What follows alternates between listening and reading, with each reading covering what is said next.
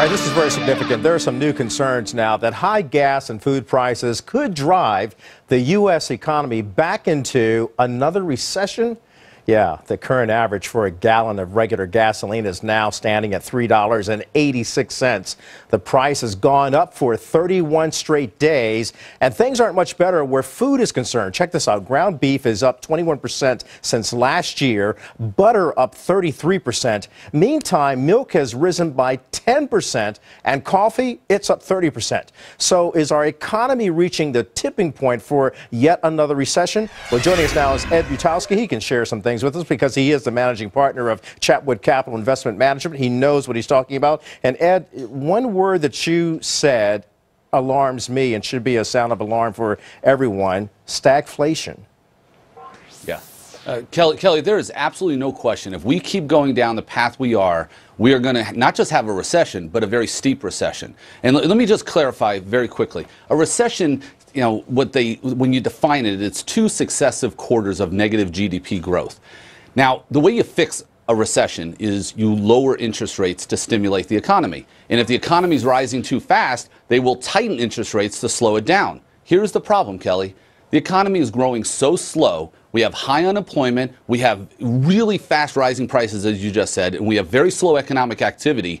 We're at a point where there's only one way I think we can fix this economy. And if we don't change it right now, we're going to go into a very, very deep recession, and that will be brought on by stagflation, which I just described to you. Now, see, that's a concern for so many people because it's almost as if, uh, if you pardon the analogy, but it's almost like a car trying to catch up with a fast moving train, and, and, and the Mm-hmm. economy is just kind of uh, running, a- well, the prices are just running away from everything. And, and like you said, it's just too slow. People are paying more at the gas pump, they're paying more for the food table, they're paying more at the restaurants because the restaurants have to pay more for the gas to get the supplies there and the food.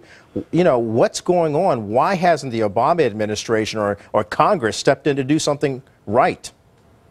Well, um, great question. I have absolutely no idea why we continue down this path. And I know we talk a lot about the need to cut taxes, but for anybody who's kind of tinkering with the idea, should we or shouldn't we, that's the only way we are going to offset this and stimulate the economy because we cannot stimulate the economy as we might normally do during a recession or the onset of a recession, lowering rates, because we're already at zero, Kelly. So how else do we stimulate the economy? You, you cut taxes, that's how you do it. You know, the other day I, I went and I filled up my gas tank. It cost me $75.50, and I was on my way to a lunch meeting. I was starving. But because I knew how expensive not only my gas was, but how much that meal was going to be, I just had a, a simple dinner salad.